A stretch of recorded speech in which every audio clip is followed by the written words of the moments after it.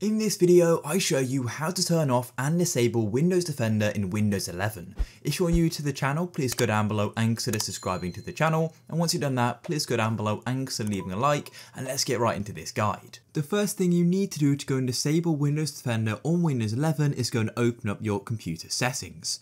So all you need to do is come to the taskbar and go and tap on the Windows icon called Start, just like so. And what you need to do is go and tap on Settings in the pinned, or you can go and search for it at the top. And here we are in the settings. And once you're in the settings, you need to come over to the left hand side on this side menu here, and you need to go and tap on privacy and security just like so.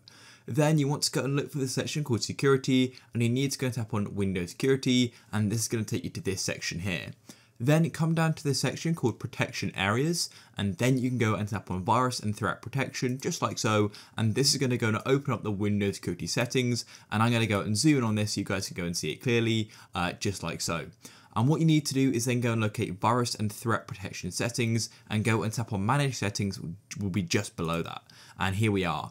And then all you need to do to go and disable um, Windows Defender is go and switch off something called real-time protection. When you go and click on it, it says off and you're going to go and get a Windows security pop-up. Unfortunately, I can't go and record that, but all you need to do is click yes. And then as you can see, it now says real-time protection is off, leaving your device vulnerable.